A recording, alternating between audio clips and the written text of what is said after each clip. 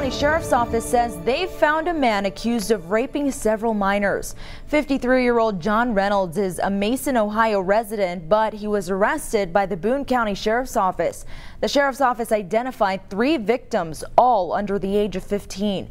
Investigators say the assaults have gone on for years and detectives believe there may be more victims.